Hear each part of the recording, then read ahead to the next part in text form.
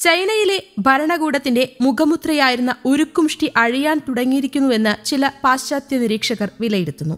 ഇരുമ്പുമറയ്ക്കുള്ളിലും സുഷിരങ്ങൾ വീണു തുടങ്ങിയിരിക്കുന്നു. രാജ്യത്തെ ഏർപ്പെടുത്തിയ ഡിജിറ്റൽ സെൻസർഷിപ്പിനെ മറികടന്നും പല വാർത്തകളും സമൂഹ മാധ്യമങ്ങളിലൂടെ പുറം ലോകത്ത് എത്തുകയാണ്. ലൂയി കൌണ്ടിയിലെ ഹെനാനിൽ രോഷാകുലരായ ആൾക്കൂട്ടം പോലീസ് ജീപ്പ് കത്തിക്കുന്നതിന്റെ വീഡിയോ ദൃശ്യങ്ങൾ പുറത്തുവന്നതോടെയാണ് ഈ സംശയങ്ങൾ ശക്തമായത്. ഇക്കഴിഞ്ഞ ജനുവരി രണ്ടിനായിരുന്നു പ്രതിഷേധം നടന്നത്. വെടിക്കെട്ടുകൾ നിരോധിച്ചതിനെതിരെയായിരുന്നു പ്രതിഷേധം. പ്രതിഷേധക്കാർ കത്തിച്ച പടക്കങ്ങൾ പോലീസ് വാഹനത്തിനു നേരെ എറിയുകയായിരുന്നു. ചിലർ അതിനു മുൻപായി കാറിന് മുകളിൽ കയറി നൃത്തം ചവിട്ടുന്നുമുണ്ട്. കഴിഞ്ഞ വർഷം കോവിഡ് നിയന്ത്രണങ്ങൾക്കെതിരെ ചൈനയിൽ നടന്ന വൻ പ്രക്ഷോഭങ്ങളുമായി പലരും ഇതിനെ ബന്ധപ്പെടുത്തുന്നുണ്ട്. ലോകം മുഴുവൻ കോവിഡിനൊപ്പം ജീവിക്കാൻ തുടങ്ങിയപ്പോഴും സീറോ കോവിഡ് പോളിസിയുടെ ഭാഗമായി ഷീ ജിൻപിങ് ചൈനയിൽ കടുത്ത നിയന്ത്രണങ്ങൾ തന്നെയായിരുന്നു നടപ്പിലാക്കിയിരുന്നത്. ചൈനീസ് വാക്സിന്റെ കാര്യക്ഷമത കുറവും വാക്സിൻ പദ്ധതി പരീക്ഷിച്ചതുപോലെ വിജയിക്കാത്തതും കോവിഡ് വ്യാപനം വർദ്ധിപ്പിച്ച് രാജ്യത്തിന് നാണക്കേട് ഉണ്ടാക്കുമെന്ന് ഷീക്ക് ഉറപ്പുണ്ടായിരുന്നു.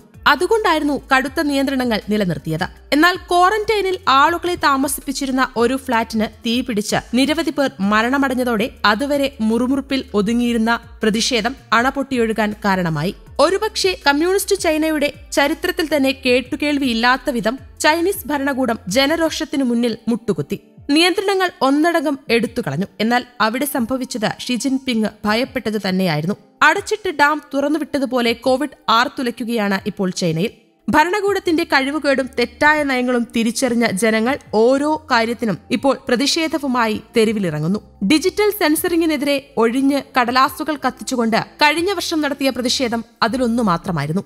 ഇപ്പോഴിതാ കരിമരുന്ന് പ്രയോഗത്തിന്റെ പേരിലും പ്രതിഷേധം. എന്നാൽ യൂണിവേഴ്സിറ്റി ഓഫ് കാംബ്രിഡ്ജിലെ ചൈനീസ് വിഭാഗം തലവൻ പ്രൊഫസർ ചോങ് ഹുവ പറയുന്നത് ഇതിനു മുൻപും ഇത്തരം പ്രതിഷേധങ്ങൾ ചൈനയിൽ സാധാരണമായിരുന്നു എന്നാണ്. എന്നാൽ ഇത്തരത്തിൽ ദൈർഘ്യമേറിയ ക്ലിപ്പുകൾ സഹിതം വാർത്തകൾ പുറത്തുവരാറില്ലായിരുന്നു. ഇത്തരം പ്രതിഷേധങ്ങളെ സർക്കാർ കാര്യമായി ഗൗനിക്കാറുമില്ലായിരുന്നു. എന്നാൽ ഇപ്പോൾ വാർത്തകൾ പുറത്തുവരാൻ തുടങ്ങിയതോടെ ഭരണകൂടം അക്കാര്യം ഗൗരവമായി എടുക്കുകയാണ്. ഇത്തരത്തിൽ പ്രതിഷേധങ്ങൾ കൂടുതൽ വ്യാപിപ്പിക്കുന്നതിനോ ഭരണകൂടത്തിനെതിരെ ജനരോഷം ഉയർത്തുന്നതിനോ ഇടയാക്കിയേക്കും എന്ന് കരുതപ്പെടുന്ന പോസ്റ്റുകളും വാർത്തകളും ഉടനടി ചൈനീസ് സമൂഹ മാധ്യമങ്ങളിൽ നിന്നും നീക്കം ചെയ്യപ്പെടും. എന്നാൽ ചൈനയ്ക്ക് കാര്യമായ നിയന്ത്രണമില്ലാത്ത ട്വിറ്റർ ഇൻസ്റ്റഗ്രാം തുടങ്ങിയ സമൂഹ മാധ്യമങ്ങളിൽ ഇവ വന്നാൽ അതിന് കഴിയില്ല.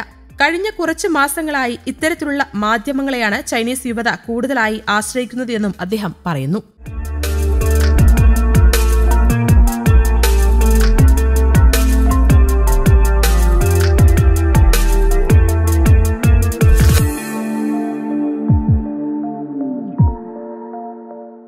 News desk Kerala Kaumudi.